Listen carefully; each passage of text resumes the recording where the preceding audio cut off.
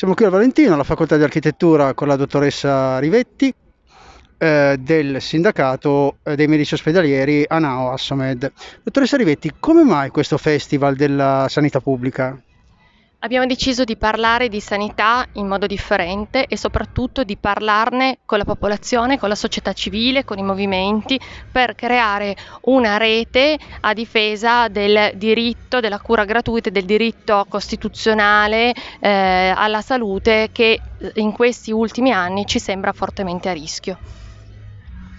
Eh, di quali saranno i temi mh, mm, principali di questo festival?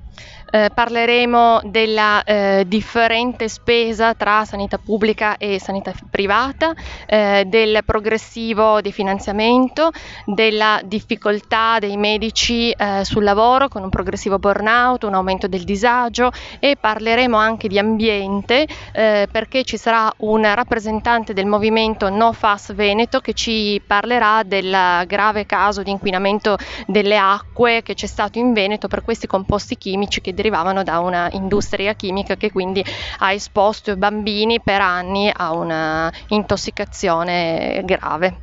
Crisi dei pronto soccorsi, fuga dei medici eh, verso la sanità privata, eh, è una situazione davvero così complicata?